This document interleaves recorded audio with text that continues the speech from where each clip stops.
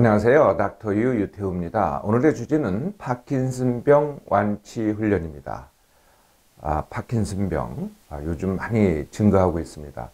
아, 인구가 고령화하면서 증가되는 이 음, 뇌 질환이 있죠. 또 하나가 이제 알츠하이머 치매고요. 오늘 말씀드리는 파킨슨병이 또 한 가지입니다. 제가 1983년 굉장히 오래전 얘기죠. 한 35년 전에 미국 유학을 준비하려고 미국 학회에 갔었습니다. 그 장소가 어디냐면은 아, 그 플로리다주 남부 있죠. 플로리다주의 그 마이애미 비치라고 아마들 아실 거예요. 아주 그러니까 휴양 도시죠. 상당히 이제 아, 야, 좋은데 간다 이런 생각을 하고 이제 거기를 이제 학회를 갔는데 제가 묵었던 이제 동네가 있습니다. 마이애미 비치 한 동네인데 정말 깜짝 놀랐어요. 왜 놀랐냐면은 저보다 어린 사람은 정말 저밖에 없더라고요. 어, 다 나이가 많고 제가 호텔에 들어갔는데 호텔에서 일하는 사람도 어, 우리 호텔에는 젊은 사람들이 보통 일하잖아요. 그 앞에는요. 근데 거기는요, 전부 다 노인들이 일을 하더라고요. 뭐 60대예요, 다 60대. 근데 더 놀라운 사실이 이제 지나가는 사람들이 이제 이렇게 걸어갑니다. 날씨가 따뜻하니까 다 이제 걸어 다니는데요. 그 모습을 보고 정말 놀랐어요. 왜 놀랐냐면은 이 걷는 모습이 정말 이상해요. 네. 저게 왜 저럴까? 참, 나이가 들면 다 저런 건가? 그때는 이제 막 이런 병을 잘 몰랐습니다. 책에서만 배우고. 네, 알고 봤더니 그게 다 파킨슨 병이더라고요. 이 파킨슨 병은요, 이제 뇌 질환인데요. 증상이 이제 운동의, 그러니까 동작의 질환입니다. 그러니까 근육에, 이게 근육이 잘 안 움직이는 거거든요.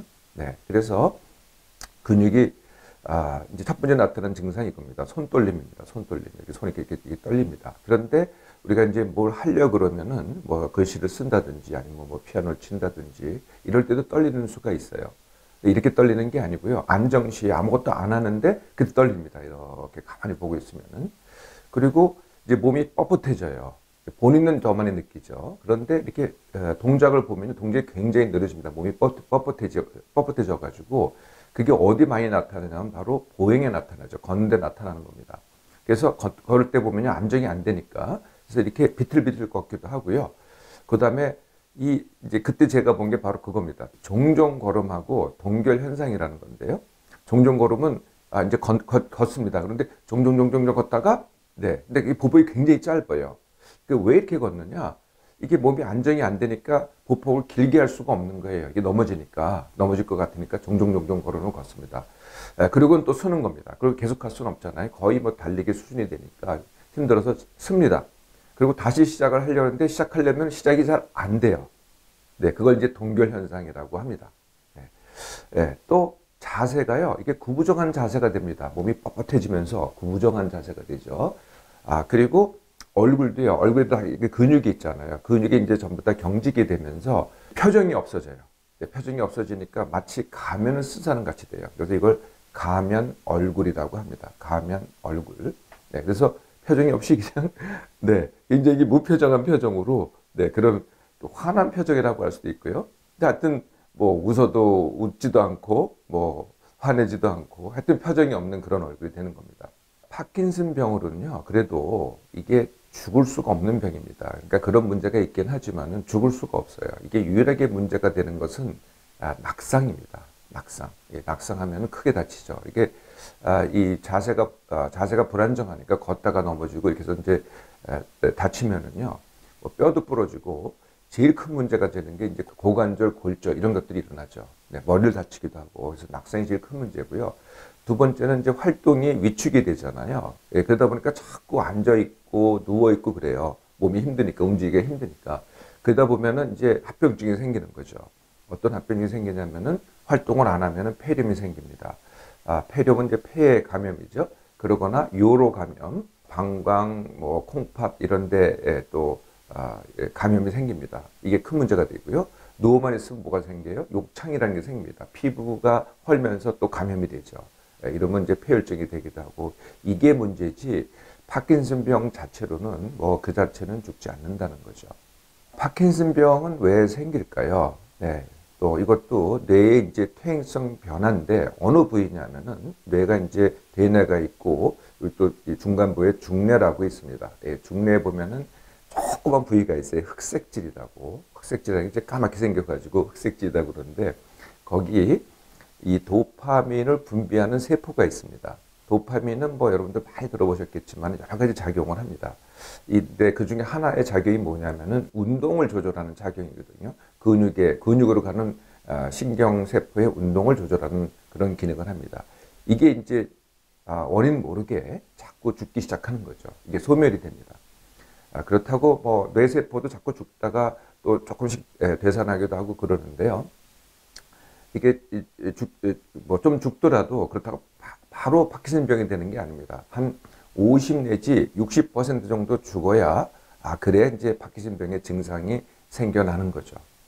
파킨슨 병은요 보통은 전부 다 다 60세 이후에 생깁니다. 그러니까 이게 이제 퇴행성 병이라는 거죠. 만약에 그 이전에 생겼다 그러면은 아, 파킨슨 병의 증세라고 하더라도 다른 이유가 더 어, 다른 특별한 이유가 있을 수도 있습니다. 60세 이후에 생기고요. 그리고 굉장히 느리게 진행이 됩니다. 아까 말씀드린 대로 네, 죽지도 않습니다. 그런데 이게 빨리 진행된다. 그러면 다 이유가 있는 겁니다. 병 자체가 있는데 이걸 갖다가 아, 증세를 악화시키고 진행을 빨리 하는 다른 요인들이 있는 거죠. 이게 제가 늘 말씀드리는 그 공통 원인입니다. 같은 원인이죠. 첫 번째가 몸, 마음의 힘듦과 지나침. 특히 이게 중요한데 뭐가 중요하냐면은 이게 불치병이다. 그렇긴 해요. 없는, 없는 병으로는 못 해드립니다. 네, 그런데 그거 가지고 비관하잖아요. 그러면 마음이 에, 힘들죠. 네, 마음이 힘들잖아요. 그러면 다시 그걸 악화시키죠. 진행을 더 빨리 하게 합니다. 두 번째가 비숙면 또는 불면. 세 번째가 예민한 몸마음. 네 번째가 만성 탈수.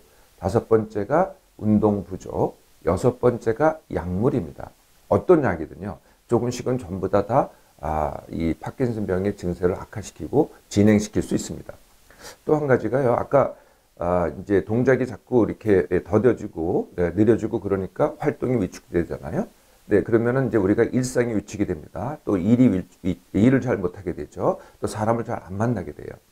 네, 그러면 이러, 이렇게 이제 일상과 일과 아, 사람 만나기 관계가 위축이 되잖아요. 그럼 이거 자체가 다시 또 파킨슨병의 증상을 악화시키고 또 진행을 갖다가 또 악화시킵니다. 네, 악순환을 하는 거죠. 자, 파킨슨병, 뭐, 그동안은 어떻게 치료를 하느냐, 뭐, 다 약물하고 이제 시술인데요. 약물은 이제 아까 도파민이 이제 부족해서 생기는 그런 병이라 그랬잖아요. 분비가 안 돼가지고. 그래서 이제 도파민을 약으로 줍니다. 예, 그러거나 도파민이 이제 몸 안에 들어가면은요, 이렇게 어, 분해가 돼요. 그, 그것을 도파민 분해 효소라 그러는데 이걸 억제하는 또 약이 있습니다. 이걸 함께 주죠. 또 도파민 작용제라고 해서 도파민은 아닌데 도파민 같이 생긴 음, 같은 작용을 하는 그런 약이 있습니다. 그런 약을 또 그런 약만 주든지 아니면은 또 같이 주든지 이렇게 해서 에, 약을 주면은요 정말 굉장히 효과적입니다. 굉장히 뻣뻣했던 증상이요 아주 반짝합니다. 예, 그런데 이제 약을 들어보신 분들은 잘 아시겠지만은 이게요, 한, 먹고 나면 한 20분, 2, 30분만 되면은 반짝하고요. 한 서너 시간, 네, 짧게는 서너 시간, 좀 길게 가는 분도 있긴 있어요. 뭐, 한 다섯 시간 정도 가면은 또 이게 쭉 내려갑니다. 예, 그럼 또 다시 약 먹을 시간이 된 거죠. 네, 그래서 하루에, 아, 뭐, 아, 세 번, 네, 뭐, 적게 드시는 분도 두 번 이상은 꼭 들으셔야죠. 그 차이가 너무 극명하게 차이가 납니다. 약을 드실 때만 예, 효과가 있다는 거죠. 이건 혈압약도 똑같습니다. 당뇨약도 똑같, 똑같고요. 대부분의 약이 똑같습니다. 진통제도 먹을 때만 효과가 있잖아요. 먹고 나면은 네, 효과가 떨어지면은 또 아, 다시 무효가 된다는 거죠.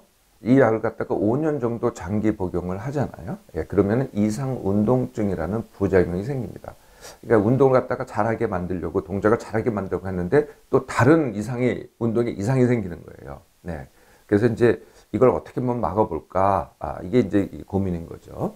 근데 잘 안 됩니다. 이게 한번 처음에는 정말 그 기적 같은 약인데 이게 시간이 지날수록 다 문제가 된다는 거예요. 아, 또 한 가지 이제 방법이 이제 시술입니다. 네, 시, 수술이 아니고 시술인데요. 어떤 시술이냐면은 뇌심부 자극이라는 시술입니다. 아, 시술이긴 하지만은 이게 두개골을 열고 뇌 안쪽에다가 네, 침을 꽂아가지고 거기다 전기 자극을 주는 거거든요. 네, 그래서 두개골을 여니까 수술 같지만은 뭐그 수술이면은 뭘 떼어내야 되잖아요. 뇌 조직을 떼어낸다든지 뭐 그런 건 없습니다. 그냥 전기 자극 침을 갖다가 꽂는 겁니다. 아, 이것도 상당히 효과적입니다. 그래서 약으로 안 되는 경우도 많이 있거든요. 아니면 또 약물의 부작용이 너무 심해가지고 어쩔 수 없는 경우. 이럴 때는 이제 한번 고려를 해봐야 되겠죠. 자, 이제 이 파킨슨 병에 대해서 잘 아셨죠? 그럼 완치훈련은 어떻게 하는 거냐? 완치훈련은요, 제가 퇴행성 관절염에도 말씀을 드렸지만은 병을 없이는 못 해드립니다. 퇴행성 관절염에도 누가 이렇게 질문을 해요. 그래서 연골이 닳았어요. 이 다른 연골을 어떻게 재생시키느냐? 이렇게 물어보면은 제가 재생 못, 못 시킨다고 대답을 하죠. 그렇지만 네, 퇴행성 관절염이 있는데도 불구하고 내가 뛰어다닐 수 있어요. 산에도 다닐 수 있고. 이런 완치 아니에요? 이 파킨슨 병도 아, 똑같다는 거죠. 아, 이미 아, 소실된 세포를 갖다가 제가 재생시키지는 못합니다. 훈련으로. 그렇지만은 아, 파킨슨 병이 없이는 얼마든지 살 수 있다는 거죠. 그게 이제 바로 완치 훈련입니다. 네, 첫 번째는 뭘 해야 돼요? 네, 내가 완치 원학입니다. 이건 약이 해줄 수 없고 약은 아까 뭐 증세 아, 약은 효과적이지만은 그런 문제가 있습니다. 약이 해줄 수 없고 뭐 시술도 해줄 수 없고 오로지 무슨 뭐 특별한 뭐 신비스러운 것도 없고 특별히 내가 해야 된다 이거죠. 내가 완치 원학입니다. 거꾸로 이거 불치니까 좌절하면 어떻게 되겠어요? 좌절, 실망, 낙담. 그럼 제가 어떻게 된다 그랬어요? 네, 병이 있는데도 불구하고 더 악화시킵니다. 진행 더 빨리 시키고요. 자, 그래서 어느 수준이건 내가 이 뭐 어떻게 진행이 됐던 현재 내 수준에서 내가 그 일상을 해야 됩니다. 내가 원하는 일상을 해야 되고, 내가 하는, 하고 싶은 일을 해야 되고, 내가 하고 싶, 내가 만나고 싶은 사람을 만나야 됩니다. 같이 놀기도 하고, 네. 그리고, 물론 이전보다 덜 할 수도 있어요. 못 할 수도 있어요. 그럼에도 불구하고 내가 그만큼 할 수 있는 것에 대해서 감사하고 만족하시라는 거죠. 이게 바로 내가 완치 원학입니다. 네, 그러면 이제 본격적인 훈련이 되는 겁니다. 그게 이제 제가 늘 말씀드리는 진행을 악화시키는 내 몸만 회복 훈련입니다. 네, 같은 시간에 일어나기, 같은 시간에 밥 먹기, 그리고 하루에 뭘 해도 어떤 일상을 하든 일을 하든 사람을 만나든 뭘 하든 간에 10% 남기고 하기. 그래야 이제 힘이 축적이 되는 거니까요. 아, 그리고 예민한 사람은 둔감 훈련, 잠을 못 자는 사람은 쉼 숙면 훈련, 만성 탈수인 사람은 물 2리터 마시기, 아, 그리고 이제 약물이 되겠죠. 약물은요, 네, 완치 훈련을 하면은 사실 완치 훈련은요, 거의 다 거의 다 거의 같은 것 같지 않아요? 네, 같은 하나의 훈련입니다. 하나의 훈련이 거의 모든 병을 완치하거든요. 그래서 훈련을 갖다가 잘 하셔가지고 다른 약물을 끊어보세요. 줄이거나 끊어보세요. 네, 그만큼 파킨슨 병에 유리합니다. 그럼 파킨슨 약은 어떻게 하느냐? 네, 굉장히 효과적이라고 제가 이 말씀드렸죠. 그러니까 이용하세요. 이용은 하되 의존하시면 안 됩니다. 나약 없이는 안 돼. 이렇게 하지 마시라는 거죠. 그러면은 점점 점점 더 약만 하시게 되고요. 훈련을 안 하시게 돼요. 그러면 더 약의 진행을 막지 못하죠. 네, 그렇죠. 훈련을 진행을 막습니다. 네, 그러니까 진행을 막는 걸 갖다가 훈련을 하셔야지 약이 의존하면 그게 안 된다는 거예요. 그래서 최소한으로 이용하기. 이게 이제 파킨슨 약을, 아, 파킨슨 병약을 이용하는 방법입니다. 아, 그러면 이제 그 다음에 이제 진짜가 되겠죠. 그게 뭐냐면 바로 운동입니다. 네, 파킨슨 병은 운동을 못하게 하는 병이잖아요. 거꾸로 내가 운동을 할수록 네, 증세도 좋아지고 아, 진행도 막을 수가 있습니다. 어떤 운동부터 시작하느냐? 당연히 매일 물속 걷기부터 시작해야 됩니다. 매일 물속 걷기부터. 파킨슨 병이 있는 분들은 제가 이미 고령자잖아요. 60세 이하니까요. 예, 덮어놓고 했다가는요, 뭐 무릎이 아프고 관절이 아프고 허리가 아프고 뭐 오히려 이제 넘어져 다치기도 하고요. 그래서 예, 예, 못하게 된다는 거예요. 그래서 물속 걷기가 기본이 돼야 돼요. 물속에서는 넘어져도요, 네, 뭐 물을 마실 수는 있어요. 네, 그렇다고 하더라도 다치는 법은 없습니다. 물속에서는요. 네. 네. 그리고 이제 중요한 게 매일입니다. 내일 또 할 수 있는데 오늘 지나치게 하지 않겠죠. 네, 이렇게 목표를 정하고 하잖아요. 뭐, 뭐 한 30분 해야 된다, 세게 해야 된다, 이렇게 정하잖아요. 그러면 작심 3일이 됩니다. 3일밖에 못 해요. 네, 왜, 왜 3일밖에 못 해요? 작심하니까요. 그러니까 작심하지 마시고 매일 하실 생각을 하세요. 대신 밀당으로 하는 겁니다. 네, 그래서 할만하면은 조금 더 하고 조금 더 했는데 아, 너무 아, 조금 심한 것 같다. 그럼 이전 단계로 돌아가고 밀고 당기고 이렇게 해서 점점 점점 강도를 세게 하는 겁니다. 한 2주 정도 해서 여기 안정이 되잖아요. 계속 하셔야 됩니다. 그럼에도 불구하고 그러면은 이제 아, 웃으면서 걷기를 하는 겁니다. 네, 웃으면서 걷기. 걷기라는 건 우리가 근데 굉장히 익숙하잖아요. 근데 웃으면서 왜 웃으면서 걸으라고 할까요? 네, 얼굴 근육도 움직여야 되니까 얼굴 근육을 움직이는 제일 좋은 방법이 바로 우, 웃는 겁니다. 네, 그래서 동작을 굉장히 크게 해야 됩니다. 네, 웃는 동작 크게 하려면은 어떻게 돼요? 소리가 크게 나와야 되겠죠. 그리고 걷는 동작 크게 하려면 군인같이 걸어야 됩니다. 제가 한번 시범을 해볼게요. 네. 네. 그래서 동작을 크게 하면서, 네, 이렇게 하는 겁니다. 네, 조금 어눌하죠? 네. 아, 지금 제가 굉장히 시범을 보이려고 빨리 했는데요. 빨리 하지 마시고요. 크게만 하세요.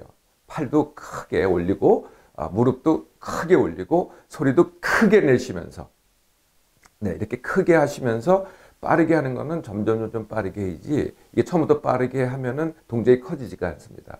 이렇게 해서 조금씩 조금씩 빠르게 합니다. 네, 어떻게 되겠어요? 파킨슨 병은 나를 꼼짝 못하게 하려고 그러고 내가 동작 크게 예, 웃으면서 걷기를 하면은 그 반대가 됩니다. 네, 증세가 적어지죠. 그리고 진행을 당연히 막습니다. 아, 그런데 이미 또 진행된 분도 있으세요. 어느 정도 이미 진행된 분들은 이제 어떻게 하느냐. 또 자꾸 하시면은 뭐 다시 또 되돌아갑니다. 어느 정도는 이제 운동력을 회복하는데요.